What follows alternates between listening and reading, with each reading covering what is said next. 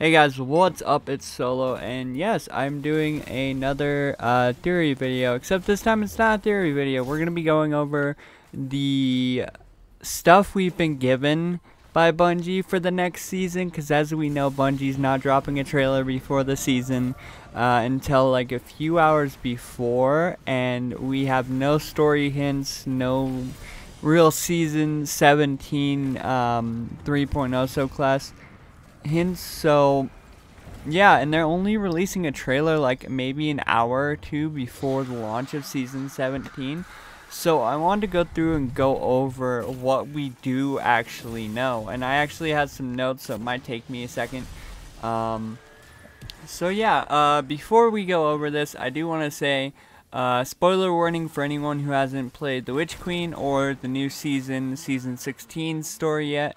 If you haven't, go play that, then come back to this video uh, because we're going to be talking about that. Uh, I'm going to count down from 5 just to give you guys a second to click out the video. Five, four, three, two, one. Okay, that was your warning. If, uh, we're going to proceed. Um, so yeah, uh, so the things we know, Savathun is dead, but her ghost is now MIA. It was taken by the Traveler actually right after she died before we could actually capture it. And um, I don't know why that was, none of us do, but it's still an interesting concept that the Traveler is protecting Savathun's way of reviving herself, uh, even after all the stuff she was trying to do in The Witch Queen. Uh, the next thing is, is we know at the end of the Witch Queen that the Witness has basically started a full-scale invasion operation uh, bringing the rest of the ships from a different space into ours. And he's coming with what are known as disciples. If you guys don't know the definition of disciple for destiny it's basically a species that is either killed or exterminated. The rest of its species to become the one prime member of that species and has earned the title of disciple and he's tried to do this, I believe we have on record to like four different people now. And the only one we've seen is Rhulk, who is in Vow of the Disciple. So, very interesting to see where we're to go with that.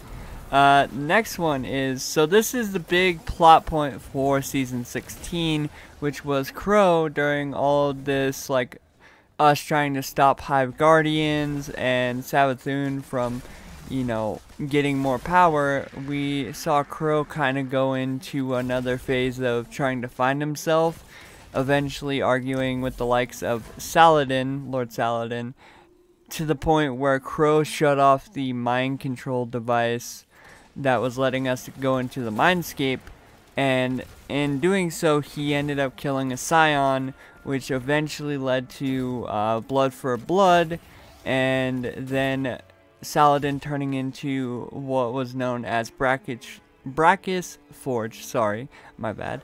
Um, and Bracus Forge eventually turned into Valus Forge because in the lore books talking about Saladin's adventures after becoming uh, Bracus Forge, he was challenged like six, five, six times in his like first days on the Cabal War Council and earned the title of Valus Forge. So that's what he's now referred to as, as far as we know. Um, and then, as we know, in the ending to Season 16, Saladin left something behind for Crow that he deems helpful for Crow. And we don't know exactly what this is. I think it was the, um, I want to say it's a hatchet that has the Iron Banner, or the Iron Wolves logo but we're not sure. I'm pretty sure it's either that or the um, necklace, I want to say. Uh, it's one of those two. I'm sorry, I'm not exactly familiar with what the item was. Uh, it was kind of a little vague. But yeah, so we're going to see probably more Crow finding himself in the next season. Uh, the next thing, which is another kind of big plot point, is Rasputin is in an engram right now uh, after being saved by Ana Bray from the darkness where she grabbed whatever she could find of Rasputin and is currently trying to get him from an engram into a different body. And we know this because there's a bunch of different lore bits from armor pieces and lore tabs that are talking about the fact that during the whole Cabal Mindscape thing, there was another section for just Ana Bray to work on this body for Rasputin, and that's where really we're at. She's trying to get some more success with it, but that's kind of where we're at. And now, with all that, that's most of the story stuff out of the way. That's kind of where we're at with a lot of the story. Like, there's probably little background bits that I haven't noticed or haven't seen about yet. Um, you know. But, now we're going to lead into the things that we know about the sandbox and what are uh, what we see changing. So the sandbox is getting an entirely new update for season 17. If you guys want to go check that out, go to the This Week at Bungie where they start talking about the sandbox changes because it's a lot and trying to get into this video this video could be like an hour two hours trying to go through all of it um, but yeah so it's being um, reworked uh, with the new sandbox and then uh, with this newest one, and I'm going to put some of this detail on screen because it's a little bit easier to go through. So Solstice of Heroes is now just going to be called Solstice. And it's being reworked with new and improved like challenges and what are known as challenge cards. Let me actually pull it up real quick. Um, which the challenge cards have two different versions. There is a free-to-play one and a paid one. Now remember, this is just the um, challenge cards that you're able to purchase that are um, cosmetic only. So just keep that in mind. Um, but yeah, I will re I will put up screenshots of different things. So like the rename uh, here's a screenshot of that where they're talking about the fact that they are going to be working on different challenges and also going to be trying to rework different events as it goes on.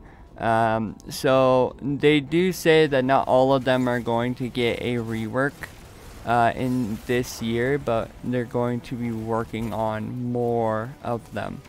Uh, they're also coming out with a new um, feature which is known as Bonfire Bash where Guardians will be building and stoking what can be described as paracausal bonfires while the enemies of Summer Fun, including Taken Cabal Hive and Fallen, will be attempting to crash the party and extinguish the fires. And your mission is to guard the flames wave after wave of incoming enemies we made, and then they also talk about the fact that they added floating islands and removed building barriers for maximum maneuverability.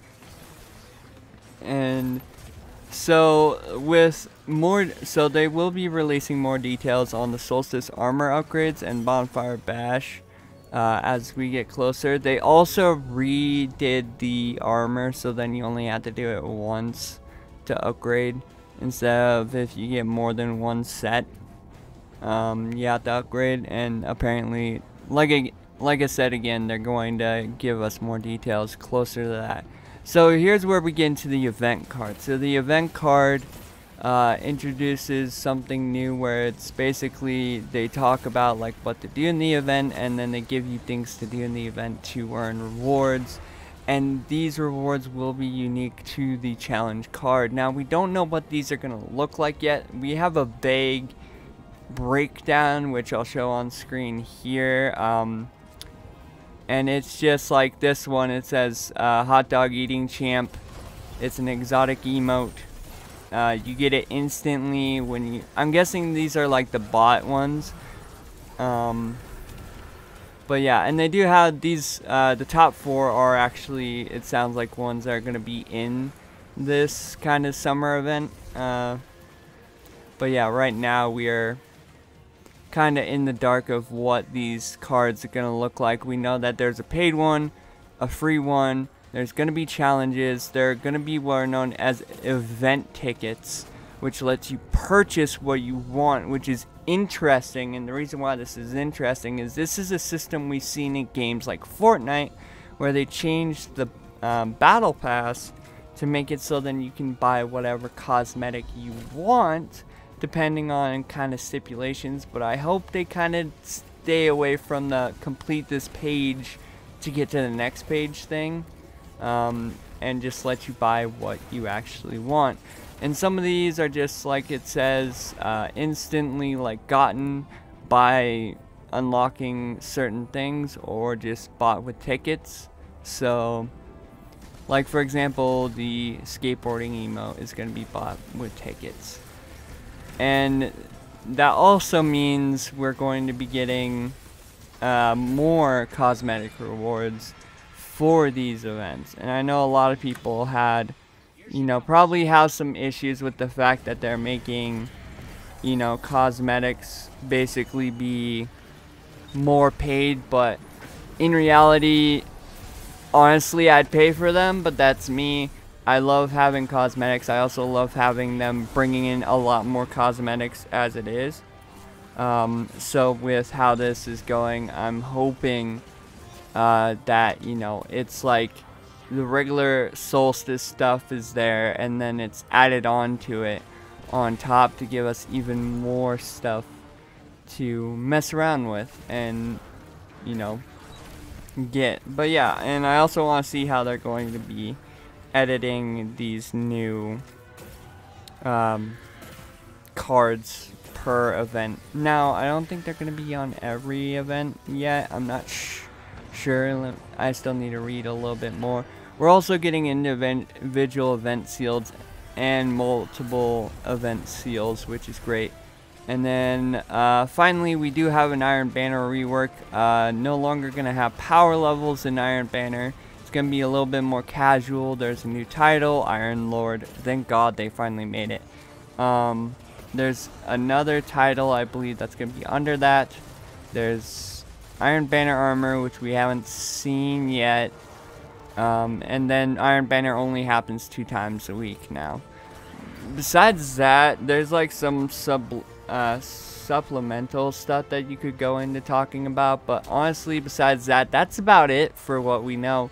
Uh, and by the way, just to let you guys know, this will be the first video of the week, just so then I have it out on Monday, uh, because the season comes out Tuesday. So I wanted to get this out on Monday to change it up a bit and so the Outriders video will be tomorrow on Tuesday, and I'll also be reacting to the trailer tomorrow on Tuesday as well. So, yeah, look forward to that. But anyway, guys, that's going to do it for the video. If you guys did like the video, hit the like button. Comment down below, what are your predictions for Season 17? I've already done mine in a previous video, but it's a lot of just different stuff based on what I've, you know, I've heard and what I might want to see. But anyway, you guys want to, you can go ahead and subscribe to the channel and turn on post notifications so you never miss a Destiny 2 video where we go ahead and talk about things. Anyway, I hope you guys have a good day and a good week. I'll see you guys later.